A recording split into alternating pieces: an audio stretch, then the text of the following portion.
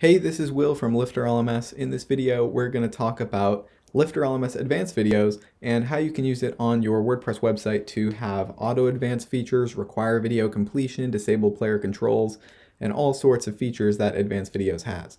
So the first thing I'm going to want to do is head to the backend of my WordPress website here, and I need to make sure I have the Lifter LMS Helper plugin installed and activated and I do here. If you don't have the Lifter LMS helper on here, this is how you activate your license for any Lifter LMS advanced add-ons. You can always Google Lifter LMS helper and uh, check out our documentation and video on how to install the Lifter LMS helper and what it does for you here. Uh, but once we have that installed and activated, I can head to Lifter LMS, add-ons and more, and I'm going to be installing Lifter LMS advanced videos here. So I'm going to install, apply, right there. Give it a second to reload. Then I'm going to activate apply and then we'll give it a second. So what that actually did for me is it automatically installed and activated the Lifter LMS Advanced Videos plugins here. So now that that's on there, I can start to play around with the settings and see what it does. So I'm using Vimeo for my video host. You can use Wistia and YouTube, I think, at the moment. I think there's some more plans in the future uh, for other video hosts, but at the moment I'm going to show an example with Vimeo. And so if I go into one of my courses, I'm just going to use this uh, test course here and put a few videos in here to show you what it'll look like. So put a few lessons on here. Save my changes. And let me embed my Vimeo link here. So I have a sample video on my Vimeo account here. And uh, one thing that's important to know is inside of Vimeo Wistia, um, I don't think YouTube has it, but uh, there are some privacy settings you'll want to make sure uh, you work with if you're trying to lock down your videos for only your course, along with some embed settings uh, Vimeo and Wistia have for modifying your video. So if you want to remove some of this stuff in the upper corner over here, you can see there are some toggles. So you'll want to look at that kind of thing for um, your, your Vimeo and Wistia stuff to kind of clean up your player a little bit. Um, so that's not really controlled by advanced videos. That's going to be something inside of your player. But, um, but yeah, we can always edit some of that stuff here. And then I'm going to copy my link from my video and I can go ahead and put it inside of my lessons. And it's going to use this featured video uh, field here. So if I paste my video right there on my lesson, then view my lesson, let me reload the course builder here and view my lesson. There we go. So now my video from Vimeo over here is embedded right onto my lesson. And so this is all standard out of the box with Lifter. Let's dive into some of the actual advanced video settings. So if I head back over to the uh, Lifter LMS backend under Lifter LMS settings and then integrations, I'm working with Vimeo.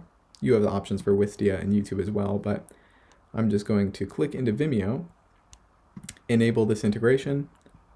There we go.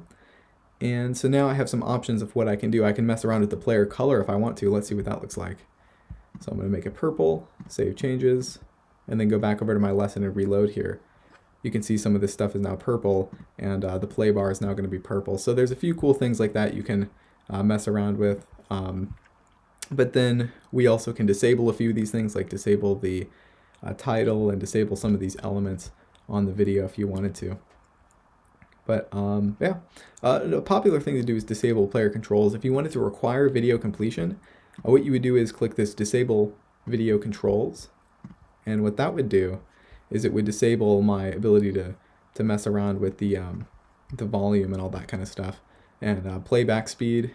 And then that in combination with requiring video completion is how you would require the videos complete before moving on. So if I go to courses on the Lifter LMS settings courses here, I can say require video completion.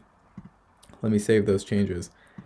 And so I can just click the mark complete button now, but now that I clicked on require video completion, it's grayed out. So I can't actually click on this until I've watched the entire video and I can't click through the video. I can't speed up the video. I just actually have to watch this whole video before being able to click that mark complete button. And, um, and yeah, the, the reason you see a little bit of the Vimeo play bar in the background there is because my sample video inside of that video has the, the play bar, but your, your videos won't have that. Just the default Vimeo video there.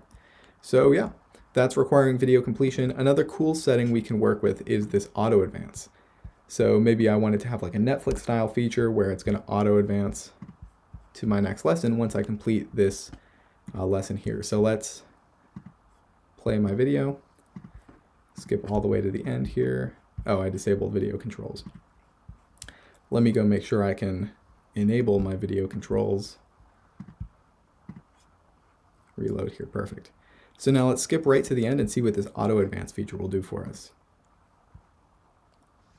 So now it's going to count down three, two, one, and take me into the next lesson. There we go. So it automatically has that feature. If you have like a series of videos and you want it to just kind of auto advance, you can use that uh, auto advance feature under Lifter LMS settings, courses, auto advance. And you can set it to 10 seconds, whatever you wanted there. And you can even set autoplay. If I had like 10 video lessons, I could just auto play through all of them and it would just kind of be kind of like a Netflix style experience where you play video one, you complete it, it auto advances you and then auto plays. Uh, so just some cool features like that. And um, yeah, so that's kind of a high overview of Lifter LMS Advanced Videos and how you can use it on your website. And each uh, course and lesson, you can actually modify the settings for that course or lesson. So if you don't generally want to require video completion, so normally video completion is not required, but then you have one specific course where you do want to require video completion, you can do that as well. The settings we've been looking at so far are going to be on a global site level, but you can always override those on an individual course level. So for my test course here, let's say I did not want to require video completion, or my global setting is currently disabled, so you can just go through at your own pace. But for this one, I want to enable it. So for this course, you do have to actually watch all the videos. Um, so that's kind of something you can play around with with some advanced video settings inside of courses specifically if um, one course is different than the rest of your courses. But that's kind of a highlight, uh, high overview on Lifter LMS advanced videos and how you can use it on your Lifter LMS website. Feel free to drop any questions or comments you have in the comment section below this video. I'm Will Middleton from Lifter LMS, and I will see you in the next video.